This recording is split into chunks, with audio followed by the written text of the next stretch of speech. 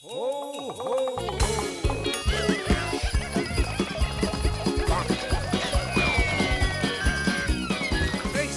juleblyant. Halla.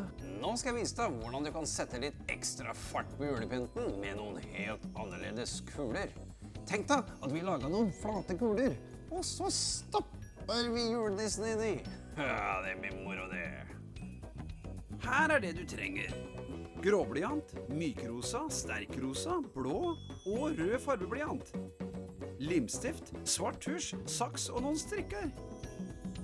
Så tar jeg en kopp og setter på et A4-ark og lager tre sirkler. Om du har en passer, kan du også bruke det. Da trenger du ikke koppen.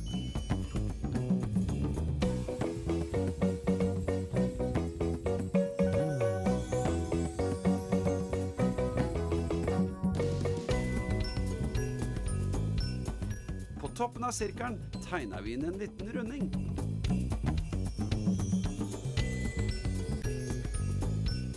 Nå har vi tre juletrekuler. Og inni dem stappa vi julenissene. Én etter én. Ja, det vil si at vi tegner dem inn, da. Først nisselua, så ansiktet og skjegget.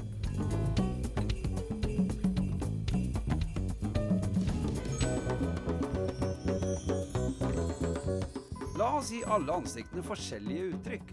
Da blir det morsommere.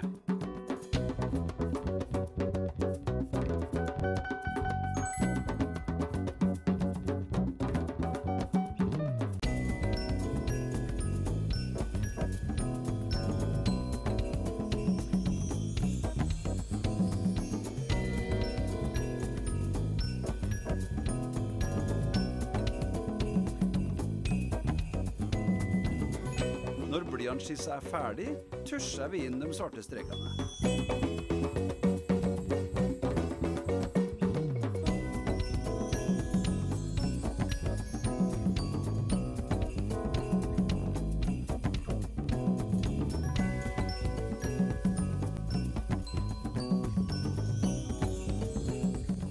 Begynner vi å farvelegge. Jeg bruker litt muskler, sånn at farvene blir sterke og klare.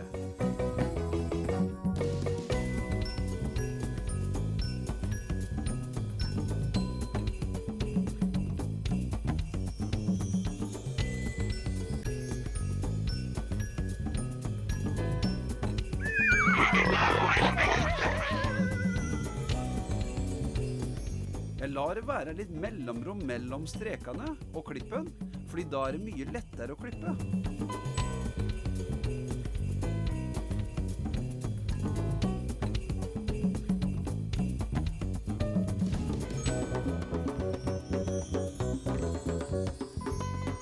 Når alle tre er klippet ut, limer jeg dem sammen to og to. Ja, jeg har jo bare tre, da. Men du kan lage hvor mange ansikter du bare vil, og så limer du sammen to og to.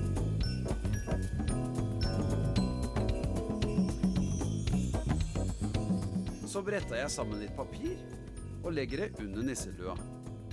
Så nå kan vi bruke saksa og stikke et hull gjennom dusken uten at det går hull i bordet ditt. Her er det kanskje best at du får en voksen til å hjelpe deg. Når hullet er som passe stort, trer vi i en strikk. Da blir det lett å hekte kulene på juletreet.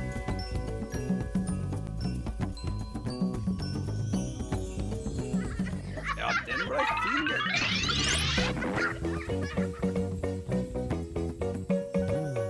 Ja, nå kan du henge opp nissekulene på tre. Håper ikke katten blir altfor redd.